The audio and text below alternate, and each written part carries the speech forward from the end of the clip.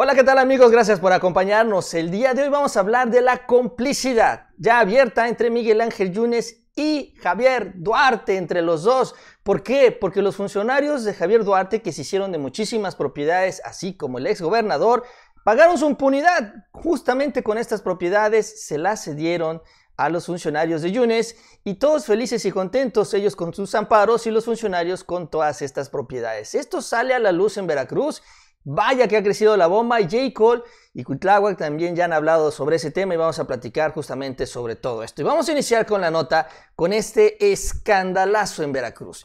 Todo surge en una propiedad en el fraccionamiento habitacional Club de Golf que, eh, bueno, según el propio Miguel Ángel Yunes, es la sede del jet set veracruzano de los burócratas veracruzanos. Ahí tienen propiedades funcionarios de Fidel Herrera, Javier Duarte, y que obviamente pues es básicamente el destino de la corrupción al terminar el sexenio de acuerdo al propio Miguel Ángel Yunes.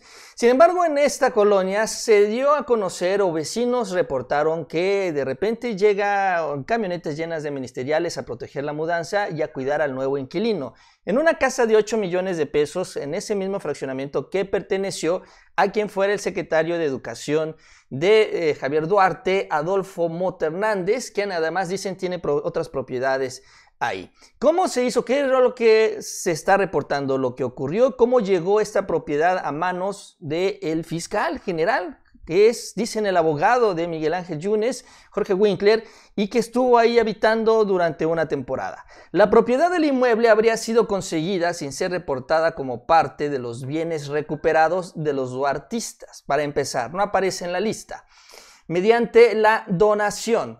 El mismo mecanismo que se utilizó para quitarle bienes a personajes como Edgar Espinoso Carrera, también exfuncionario de la Secretaría de Educación de Veracruz, en donde ocupó la oficialía mayor, con los que se consiguió el perdón y olvido. Esto es lo que se está comentando ya en Veracruz, esta complicidad entre los funcionarios acusados y quienes acusaban.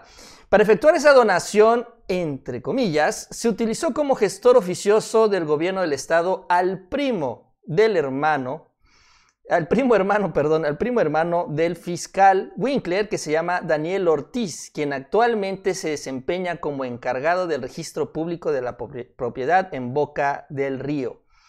Tienen todo el esquema ya armado para recibir esas propiedades, no reportarlas y, y quedárselas. Finalmente se están quedando con propiedades que surgen de la corrupción. Digo, ellos no la robaron directamente, pero se están quedando con ese premio y están regalando impunidad. Ese es el problema. Y bueno, finalmente ese es el escándalo que está surgiendo en Veracruz, que ha estado caminando en los últimos días y sí es muy grande, es importante el escándalo. Hoy estuvo Jacob Oleski en Veracruz y habló sobre este tema y esto fue lo que comentó sobre este escandalazo de corrupción. Mira, yo empiezo por decir que nosotros ya habíamos señalado a ese fiscal como una agente corrupta, que además estuvo atrás de todo el caso de aquel, ¿cómo se llama la diputada? Eva Cadena. O sea, todo estaba ahí el tema. Entonces, obviamente, por sus hechos los conoceráis, como dirían. como, imagínense, vivir en la casa de otro corrupto, quien se la dio por eso. Hay toda una situación reprobable. Eso es por lo que Morena se construyó, se creó y por lo que trabajamos para acabar con este tipo de situaciones. Que aquí... Bueno, lo que comenta J. Cole sobre este escándalo, lo que ha trascendido también es que cuando empieza a crecer este tema, Miguel Ángel Yunes ordena que Winkler salga de ahí y finalmente sale y le ponen y le cuelgan un letrero de vendido, ya para que no vean que todavía sigue habitando esta propiedad de un corrupto y obviamente ahorita lo señalan como corrupto, pues es, es algo natural. Cuitlagua García, como vimos, estaba ahí también presente en esta conferencia de prensa y habló justamente sobre este tema del fiscal. queda el fiscal general de Estado muy mal parado, porque ahora se entiende por qué están obteniendo amparos y algunos este, otorgamientos de la supuesta justicia contra algunos artistas que ya están ganando amparos porque, insisto, lo que se ve de fondo es que hubo una negociación entre esos artistas y el fiscal general del Estado para que los bienes que ellos habían adquirido mal habidos, los artistas, se los cedieran ahora a, los nuevos funcionarios de Yunis. tiene que investigar a fondo eso, ¿eh? es muy grave. ¿Cómo no? Claro que es muy grave la manera en la que se están quedando propiedades que supuestamente iban a ser recuperadas, pero las sacan de todo este circuito de investigación y al cambio están entregando estos amparos. Así como se lo reportaba en un principio, también ya uno de ellos que entregó su propiedad y ya tiene este beneficio legal. Y obviamente pues habla de esta complicidad entre Miguel Ángel Yunes y Javier Duarte. Tal vez no directa, pero los une finalmente la corrupción. El dirigente de Veracruz de Morena también ahí está presente. Y él habla ya de investigar al fiscal, sobre todo porque al fiscal todavía le quedan siete años para que salga de esa posición. Eso es lo que a él lo envalentona, lo pone ahí. Dice, ah, a mí nadie me puede mover, soy independiente, el gobernador no me puede tocar.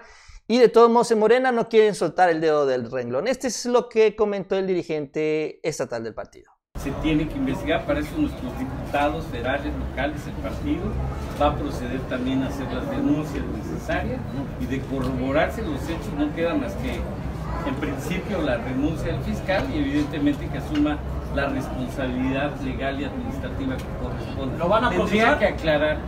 No, nosotros no somos Mr. vamos a hacer la denuncia, pero tiene que investigarse. Ahora se tiene que aclarar si donde vivía quién lo donó, a quién se lo donaron. O sea, hay mucha tela de dónde cortar en este caso. Él se está burlando de la gente porque dice, todavía me faltan siete años en el cargo. Yo reitero, ya ahora el asunto es muy grave y por eso se tiene que investigar y se tiene que actuar conforme a la ley. Y obviamente el fiscal en el sexenio de Cuitlagua García se convierte en un elemento, en un factor de ingobernabilidad, obviamente protegiendo a los yunistas la gente Miguel Ángel Yunes y presionando y lanzándose contra la gente de Cuitláhuac, sobre todo con esta impunidad de la que se presume por los siete años que todavía le quedan de este periodo. No hay, tampoco esto no es una calle, un callejón cerrado. También la oportunidad, la opción para remover al fiscal es reformar, reformar finalmente la ley. Morena va a tener la mayoría en el Congreso local. Ahorita incluso están batallando porque eh, la gente de Yunes quiere poner algunos candados antes de irse. Hacer mismo que vinieron haciendo en otros estados como en Sinaloa y en Hidalgo. Y entonces en este sentido, cuando llegue la mayoría de Morena, ellos pueden hacer los ajustes necesarios en eh, las leyes orgánicas, cambiar un poco el formato del fiscal y ante estos cambios, pues obviamente eliminar la figura que actualmente se está ocupando para que llegue un fiscal no a modo, pero que no represente estos intereses de corrupción y de Miguel Ángel Yunes. Finalmente, lo más imparcial que se pueda conseguir y presentarse y plantarse ya a partir del arranque del gobierno de Cuitlagua García. Esa es la otra opción. Vamos a ver si la toman, vamos a ver qué sucede. Pero yo veo muy difícil de todos modos que este fiscal se mantenga, sobre todo porque no van a soltarlo ya. Es obvio que estas denuncias, si bien no van a caminar ahorita a nivel local, eventualmente ya con el gobierno federal se les va a dar cauce y obviamente quedará expuesto ante un proceso en su contra. Y sobre todo miren cómo, a cómo se refiere Jacob Polinsky a eh, Miguel Ángel Yunes y a todo su grupo. Perdieron, perdieron, perdió su hijo, perdió todo el mundo. Mira, nosotros, yo en verdad, fuera por mí, nos refundía en la casa, que fuera tiempo. Abraham. Yo en esa la tengo muy clara. Pero voy a decir que estamos trabajando en construir al país, en reconstruir, en rescatarlo. Y lo vamos a hacer los mismos estados. Entonces tenemos que darle prioridad a los temas más importantes. Y de repente, pues, ese tema del polizón, que uso de ejemplo en el caso de Corral, lo dejamos a un lado. Nosotros, nosotros hacemos la parte positiva. Así más clarito no se puede, ¿no? Si fuera por mí, por Jacob Polensky, yo lo refundo en la cárcel. Obviamente el papel de ella es ser dirigente de un partido nacional, ella no es autoridad, no tiene la facultad legal para refundir a Miguel Ángel Yunes en la cárcel. Sin embargo, se entiende que una vez entrado el gobierno federal, arrancada la administración, pues ya van a tener todo el sistema, toda la gente que va a estar ya ubicada en estas posiciones de poder, las denuncias que está presentando el partido a nivel local, si no caminan, caminarán a nivel federal y si la disposición también es encontrar y dar con el responsable de esta donación fraudulenta de las propiedades de la gente de Duarte a favor de los de Yunes, pues obviamente tendrá que venir alguna sanción. Y ahí Y ahí en medio de todo esto, pues obviamente se está dando la transición. Vamos a ver qué tanto crece, vamos a ver qué tanto camina estas denuncias y finalmente si cede el fiscal Winkler o si se mantiene ahí en esta posición. Obviamente este cambio se daría hasta que se tenga la salida de Miguel Ángel Yunes o cuando menos hasta que entre la mayoría de Morena en el Congreso a mediados de noviembre, porque ahí ya se empezará a sentir así como lo vemos a nivel nacional la presencia de la cuarta transformación. Ya para terminar vamos a cerrar y mencionar el caso de Karime, ya que estamos con el caso del tema de Veracruz, porque por encimita comentarles que salió una columna el día de hoy, Karime en la cancha de Andrés Manuel, de Alejandro Aguirre, que es un eh, periodista veracruzano y está muy bien informado sobre estos temas.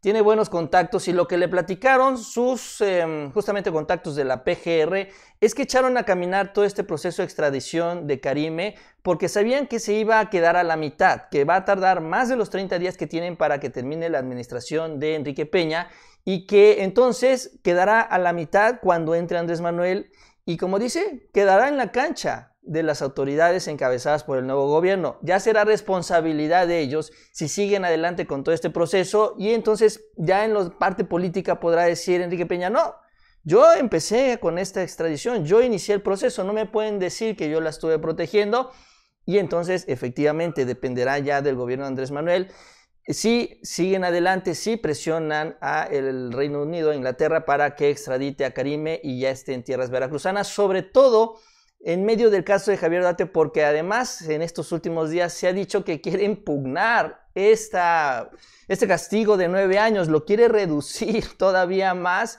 Entonces también en este escenario es donde está caminando la extradición de Karime, en una, con una intención política más que con la justicia, que eso es lo que nos ha preocupado todo este sexenio, que la justicia se ha sometido a los intereses de los grupos y no precisamente a pues justamente buscar justicia. Bien amigos, pues es todo, gracias por acompañarnos y nos vemos a la próxima.